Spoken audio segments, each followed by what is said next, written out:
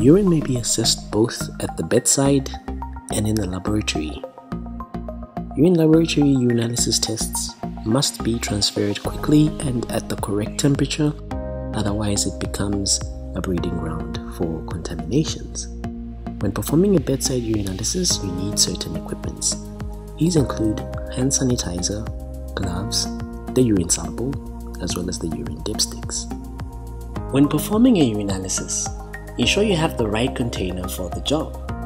First, check the expiry date on the container and make sure it is not expired. This will ensure you get an accurate result on the test.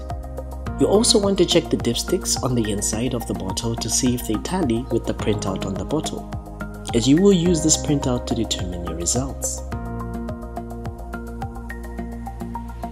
Next, you want to inspect the urine, noting the color, presence of any sediments, blood, the smell, and the consistency.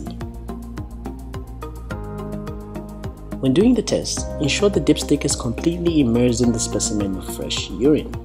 This may sometimes be a challenge when the specimen of urine is little. However, ensure that all the blocks of the dipstick are completely immersed in the fresh sample of urine. Withdraw the stick immediately and gently tap the edge along the rim of the container to remove the excess.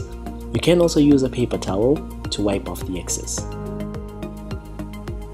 Once this is completed, Take your time and compare the colors with what is written on the container. This takes up to 2 minutes to complete. Write down your answers on a piece of paper and remember, each parameter has specific reading times. Compare the color of the dipstick to the colors that it matches on the container. Write down your results, interpret them, and note them down on the patient's file. This is how you perform a urinalysis.